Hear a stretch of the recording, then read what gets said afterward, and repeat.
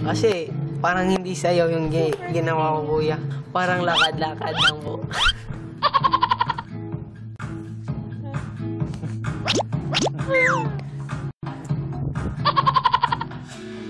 Pagdating po sa sayawan kuya, parang ang hina ko talaga. Yay! Matapos sumayaw ay ibinahagi na ni Tan ang kanyang happiest moment. Um, yung kwento ng ano, pinaka-happiest moment ng ano ng life ko kasi yung mga unang sandali ng ano happiness ko is school tapos basketball lang talaga. Salamat sa kapatid ko na babae, pinilit niya ako sumali ng Star Hunt at nag-audition kami. Yun siguro yung pinaka first na happiest moment ko kasi kasi part na talaga yun ng ano parang show. Oh, kasi doon na talaga nagsimula. Yung pinaka-happiest ko talaga nung nasa labas ako ng bahay ni Kuya nung, nung pagbukas na ng chest kasi pagbukas ko, Pinoy Big Brother na. Sabi ko, yes! Yung dahilan na sumali ako dito kasi nakasangla yung bahay namin. Ayun. Tapos gusto ko makatulong sa kanya. Gusto ko mabayaran yung tao para di makuha yung bahay namin. Siguro po, yung natutunan ko po talaga, may mga tragic moments na darating sa iyo, kuya. Um, laban lang, kuya. Huwag susuko hanggang may buhay pa. Maging happy lang po palagi. Huwag mapaghihinaan ng loob. Susunod na nagpamalas ng kanyang talento ay si Sheena. Kaya mo yan. Panghuli ako, Yung nakuha ko po is pinakamalungkot na pangyayari sa buhay.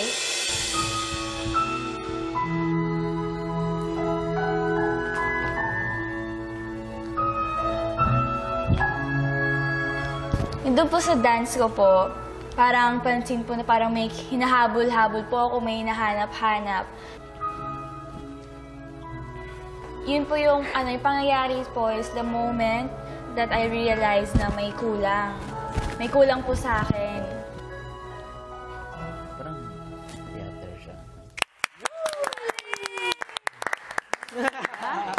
Maya-maya pa ay ibinahagi na ni Sheena ang istorya sa likod ng kanyang madamdaming sayaw. So, yung kwento sa akin, saddest moment, in life.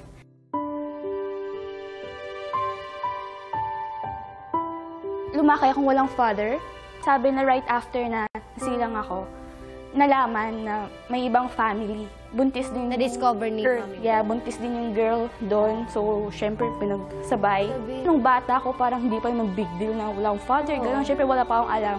Ganun, ganun. Tapos, yun na saddest, the moment I realized na may kulang. I'm trying my best na parang ipakita hindi ako affected. Oo. Na, na, nabubuhay pala ako na hindi kompleto yung love na dapat na nararamdaman ko. Kasi wala akong father. Ganun. Yung pag-meet namin, accidentally, eh, may communication pa rin naman kami sa lola ko sa kanya.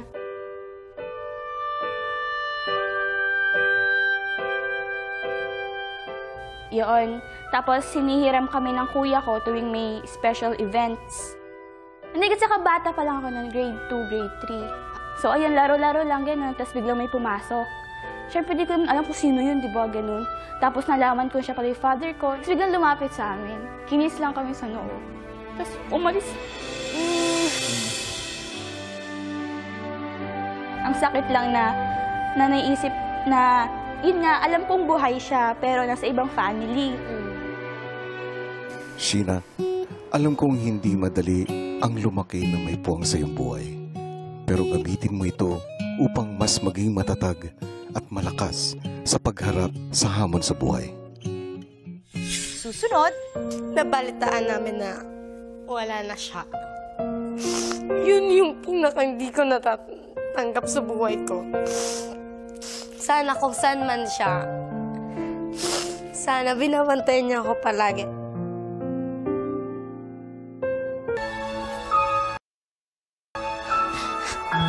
Yung dance po kuyang ginawa ko ay tungkol po yun sa, yun nga po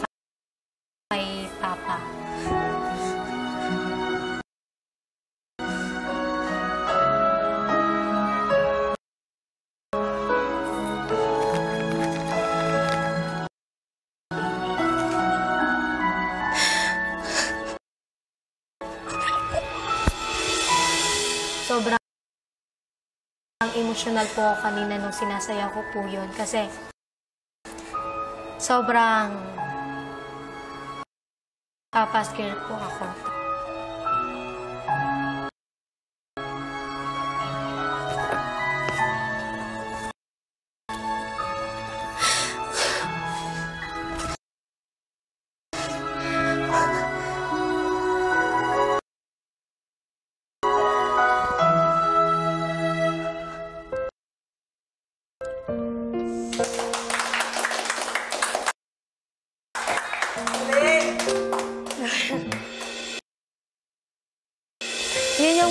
Yung pinakamalungkot na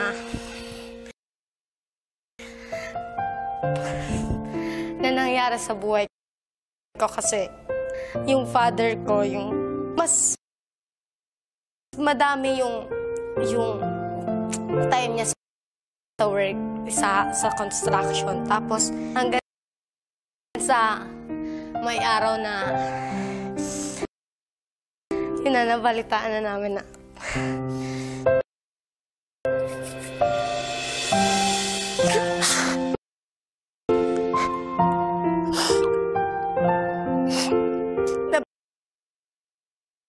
balitaan namin na wala na siya. Yun yung pinaka hindi ko natatanggap sa sa buhay ko.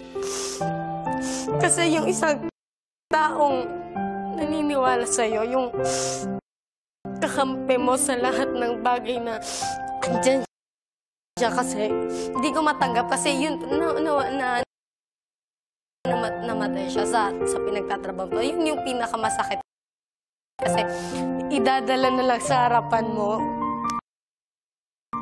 Nasa kabaong na. Nakahiga na yung taong paborito mong makasama araw-araw. Sana kung saan man siya, sana binabantay niya ako palagi and yun, sana proud na proud siya. Siguro, kung nasaan man ang ama mo ngayon, siya na ang pinaka-proud na ama. At masayang pinapanood ka, sigurado ako. Gusto niya na magpatuloy kayong lahat na lumaban. Dahil nga sa ng buhay task na ibinigay ni Kuya ay samot-saring emosyon ang ating napanood sa pagbabahagi ng istoryang pinagdadaanan ng bawat housemate. At dahil nga dito ay mas nakilala at mas naintindihan nila ang bawat isa. Pero kung patuloy ang pagbabahagi ng kani-kanilang mga kwento sa bahay ni Kuya, isang challenge naman ang hinarap ng mga Star Dreamers sa loob ng Camp Star Hunt. Kung ano ito, panoorin nating lahat. Sa Camp Star Hunt, sumabak na ang Star Dreamers sa kanilang first challenge bilang isang team.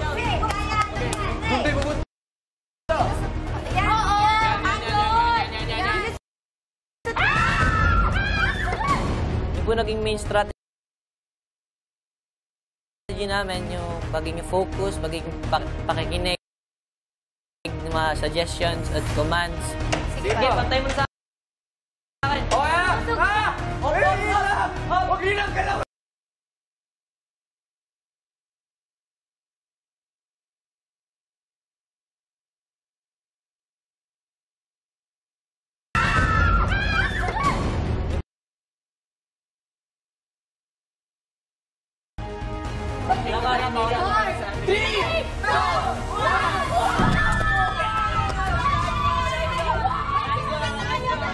matapos magtagumpay, isang masayang kainan ang kanilang pinagsaluhan.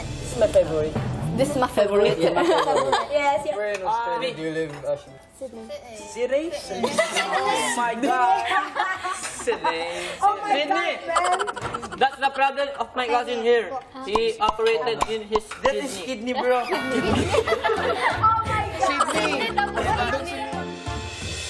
Abangan bukas Doon makikita niya din sa sayaw ko na yung kahit mabuti yung ginagawa mo, may masasabi at masasabi din sila sa'yo. Yung pinakamalungkot na nangyari sa akin. Yung namatay yung tiyahin ko. Yung pinakapaborito kong tiyahin. Of course, I want to help out my family sa bahay kasi hindi kami rich. Sa tatlong dance presentations na inyong gagawin, kinakailangan na may bahagi doon ay hihiga kayo sa sahig